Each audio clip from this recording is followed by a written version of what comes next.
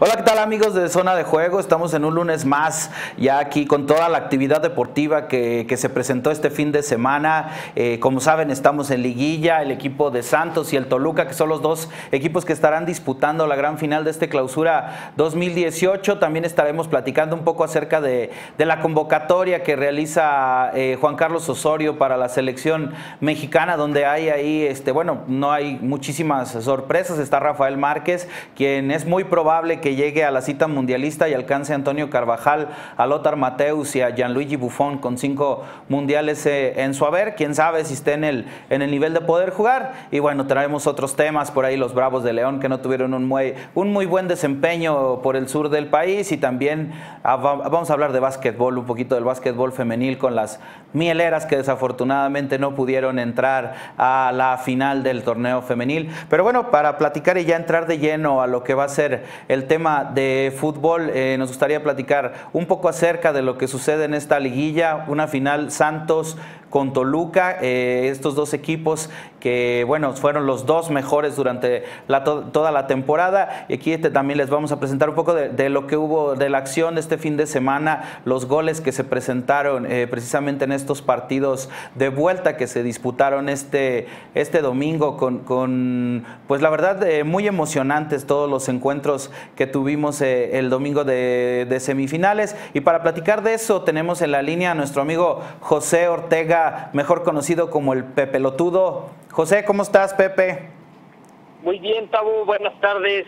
Eh, muy contento de estar con ustedes en zona de juego y pues esperando qué va a resultar de lo que será esta final del fútbol mexicano. Los dos equipos que se mostraron más regulares durante todo el torneo, que estuvieron por más tiempo en los primeros puestos me parece justo que se encuentren estos dos en la final, recordando que ya la han protagonizado un par de veces en los torneos cortos, eh, la más cercana, la del Bicentenario 2010, que se definió precisamente en Toluca desde los penales, y también recordamos aquella goleada en el año 2000, donde Toluca también se quedaría con el título. Eh, son dos equipos que llegan en muy buena racha, eliminando a dos equipos que por el resultado en la ida, América casi se había eliminado, y por otra parte de Tijuana, que se esperaba mucho más, las indisciplinas al final, a final de cuentas los dejan fuera. Oye, muy, muy criminal, digo, la patada de Miller Bolaños, ayer la veíamos, la que le pone a, a Rubén Zambuesa en, el juego de Toluca Cholo, la verdad nunca va a buscar el balón, ¿no? Se ve que va directamente sobre, sobre el hombre, una patada muy, eh, pues la verdad, eh, con toda la, mala leche, se podría decir, por parte del jugador eh, ecuatoriano, que en algún momento se habló de que podía venir a León, no sé si recuerdes eso. Sí, Miller Bolaños, de los jugadores más talentosos que hay de la selección ecuatoriana, que después de su paso por el fútbol brasileño termina aterrizando en Tijuana. Por mucho tiempo el León lo pretendió, de hecho fue el único que había conseguido la anotación jugando como visitante eh, en la temporada regular recordamos aquel golazo que le hiciera en la penúltima fecha al conjunto Esmeralda, eh, la patada completamente mala leche. Yo no sé qué les haya dicho o qué les haya hecho Rubén Zambuesa, porque también en la expulsión por doble amarilla de, de Luis El Quick Mendoza, también le deja el pie sin siquiera voltear a ver el balón. Sabrá Dios que, que haya dicho eh, Rubén Zambuesa, pero ese tipo de entradas no, no se pueden realizar en una cancha de fútbol, eh, sabiendo todas las vueltas que da el, el mismo mundo del balón y que finalmente no le puedes entrar así a un compañero de trabajo.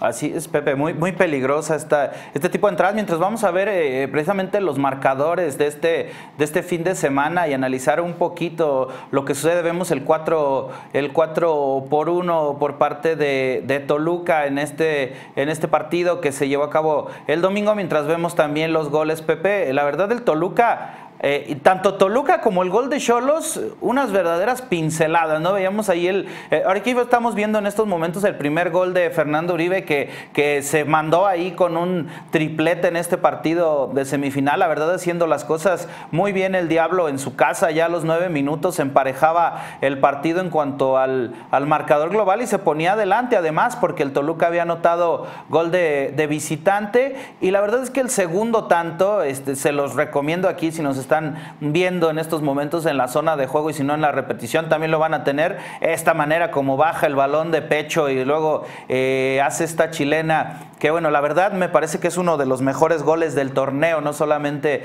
de esta liguilla, este segundo que hace Fernando Uribe. La verdad, un partido, aunque Toluca tuvo el dominio prácticamente todo el juego, eh, la verdad, eh, con muy buenos goles, Pepe, ¿cómo ves al Toluca como finalista? ¿Tú crees que Toluca sea favorito para ser campeón?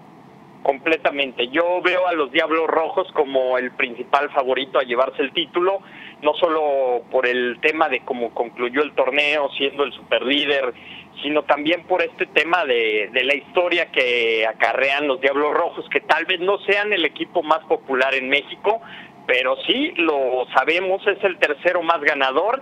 Tienen a Cristante como técnico que sabe exactamente cuál es la esencia del Toluca y que finalmente llegan a, esta conclusión del torneo jugando un buen fútbol, derrotando a equipos que si bien lo complicaron, hablamos del caso de Monarcas Morelia y también aunque el marcador pareciera reflejar otra cosa, Tijuana de Diego Coca también fue un rival bastante complicado.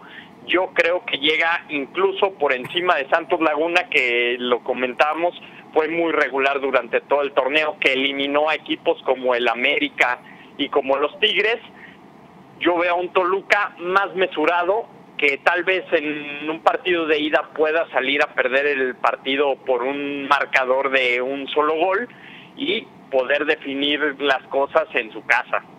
Ha sido un Cholos que a pesar de tener esos dos hombres de menos, el Quick Mendoza que veíamos eh, lo habían expulsado y a Miller Bolaños, sin duda dio pelea y dio mucha batalla en esta, en esta serie. Además que se metió sorprendiendo y ganándole al, al Monterrey, que era uno de los grandes eh, favoritos para poder estar en, en la final y para pelear por el título. Me parece que sí llega bien embalado ya el, el Toluca después de esta, de esta victoria. Con Monarcas sufrieron un poquito más. Eh, Monarcas ahí le complicó ya casi eh, al final durante el partido. Y seguimos viendo las imágenes, Pepe, ya del de, Toluca en su cuarto gol, ya cuando estaba prácticamente definida la serie, ya Cholos eh, había bajado los brazos, eh, ya no tenían demasiado ya que, que pelear en este en este partido que realmente se les había complicado y donde Fernando Uribe es la, la, gran figura con estas tres anotaciones. Y como bien señalas, Pepe, me parece que es el, el favorito natural, además que el próximo, este domingo ya vamos a tener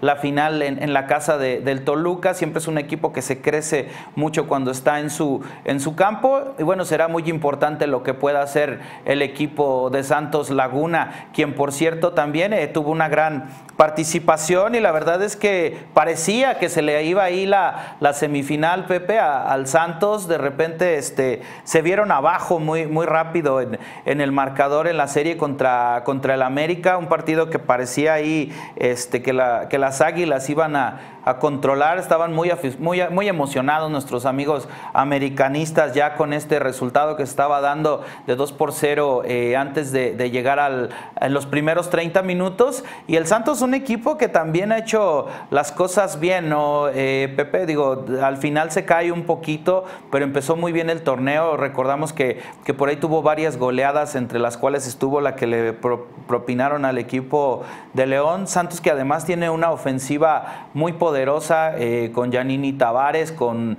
con el mismo eh, Julio Furch, con Jonathan Rodríguez, que ayer es el que termina ahí poniendo el, el, marcador, mientras vemos este marcador precisamente de 2 por 2 que fue en el, en el regreso. Santos, el, el equipo que no llega quizá como favorito, eh, es, es, es, sin duda candidato. Mientras vemos aquí el primer gol de, de, Cecilio Domínguez por parte del América, un penal que para muchos no era, la verdad un poco eh, dudosa esta marcación, pero bueno, igual se marca y, este, y, y, el América se pone adelante. Pepe el Santos con su ofensiva, ¿cuál, ¿cuál puede ser la fortaleza del equipo santista en esta final?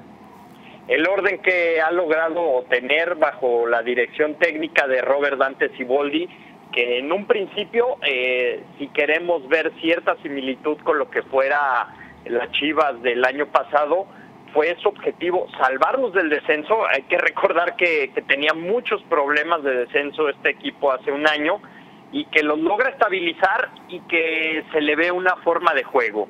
Tal vez no sea el equipo que arriesga más, pero pese a eso tiene al goleador del torneo, se mantuvo por muchas jornadas como el equipo invicto del fútbol mexicano hasta que llegara la jornada número 8 donde le tocó visitar precisamente al Toluca y con un doblete de Fernando Uribe se terminó ese invicto. Sin embargo, Santos continuó jugando bien y lo viene demostrando también así en la liguilla. Eh, su fortaleza principal me parece que es lo que los caracteriza, ser un equipo sumamente aguerrido.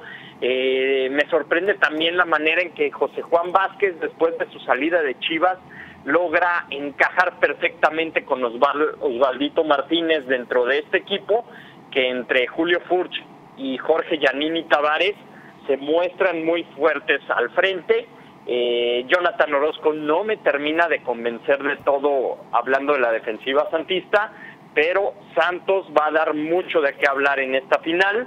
Yo espero que no vaya a decepcionar a nadie lo que es este enfrentamiento, sí, un partido muy cerrado, pero realmente entretenido para los aficionados, Tabo.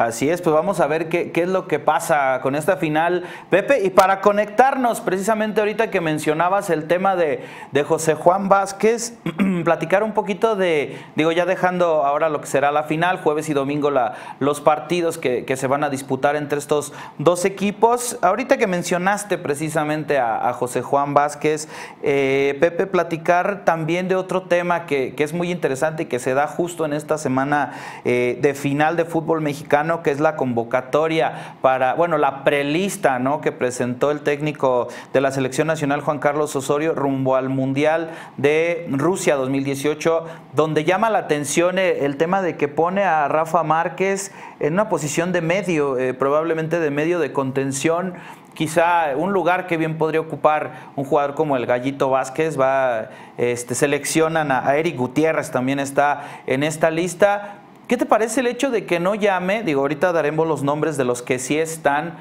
que no hay demasiadas sorpresas en la lista de Juan Carlos Osorio en relación a lo que ya venía manejando. Más bien platicar de los ausentes. ¿Qué te parece la ausencia que, siempre llama la atención, ¿no? En este caso, José Juan Vázquez, probablemente el mejor contención que tiene el fútbol mexicano en estos momentos, lo demostró, lo está demostrando en Santos, lo demostró en Chivas, lo demostró en León, peleando siempre este, títulos con, con el equipo, con los diferentes equipos que ha estado no es la gran ausencia de esta lista, porque todo el mundo se enfoca en Pizarro, eh, que Pizarro, aunque Pizarro tiene más condiciones ofensivas y, sí se podría decir hay más jugadores que pueden, que ocupan e, esa parte de, del campo, mientras vemos en pantalla precisamente los 28 convocados que tiene Osorio para esta prelista. ¿No te parece que, es un pecado muy grave de, Osorio dejar fuera a un jugador como el Gallo Vázquez, que aparte del Mundial anterior en Brasil fue una pieza clave en el esquema de, de Miguel Herrera? Digo, no lo ha utilizado Juan Carlos Osorio, me parece realmente que ha desperdiciado un jugador así. ¿No crees que es, que es eh, no sé, un desperdicio no llamar al gallo? El problema y a la vez la virtud que tiene el Gallo Vázquez es que jamás ha sido un jugador mediático y esto me parece que de alguna forma le juega en contra para esta última convocatoria de Osorio, que tampoco me extraña que no lo haya convocado por el hecho de que en muy pocas ocasiones apareció dentro de su lista de convocados.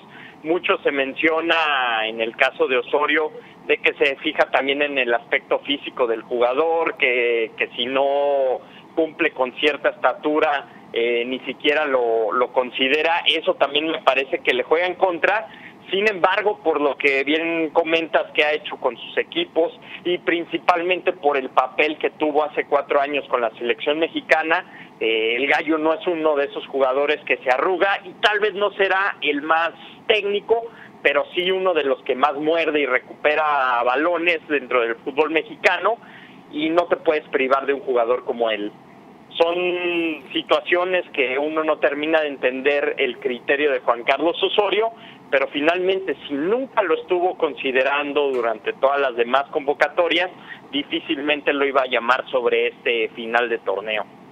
Oye, eh, Pepe, para platicar un poquito ya de, lleno sobre la lista y pues desafortunadamente ahí el gallo no se encuentra, pues mencionarte los jugadores que, están en la portería, va Guillermo Ochoa, eh, que me parece tuvo, ha tenido una buena participación con su equipo eh, este, en Bélgica, Jesús Corona y Alfredo Talavera también son los porteros que, que completan esta lista, en los defensores son Néstor Araujo, Héctor Moreno, Hugo Ayala de, de Tigres, Diego Reyes, Miguel Ayun, Jesús Gallardo y, Carlos, Carlos, Carlos Salcedo, Edson Álvarez y Osvaldo Alanís. Me parece que aquí hay un, asterisco por el tema de, sobre todo de Araujo, ¿no? Y que, por ahí tuvo, tuvo la lesión. Vamos a ver cómo, cómo se va recuperando de este tema. Mismo caso de Carlos Salcedo, que también recientemente viene saliendo de algunas lesiones. En el medio campo está Rafa Márquez, que ya sabemos, eh, eh, el mismo Osorio lo dijo hace un rato, es un referente del equipo y fuera de la cancha puede aportar mucho. Jesús Molina, Jonathan Dos Santos, eh, Marco Fabián, Andrés Guardado, Héctor Herrera, Giovanni Dos Santos y Eric Gutiérrez, que es la gran sorpresa de esta lista, el jugador de, de Pachuca, que la verdad con selecciones menores ha tenido buena participación. Ya en la, en la delantera, que es donde más jugadores tiene convocados Osorio, está el Tecatito Corona, el Chucky Lozano, Javier Aquino, Carlos Vela, Oribe Peralta, eh, que ahí yo creo que quizá no está eh, jugando ahora su, su, máximo nivel, pero ahí está en la convocatoria. Javier El Chicharito Hernández, Raúl Jiménez y Jürgen Damm. En términos generales, esta lista para ti, Pepe, eh, ¿qué te parece? Cumple con lo que se venía esperando de Juan Carlos Osorio, de las convocatorias anteriores también eh, es congruente de alguna manera.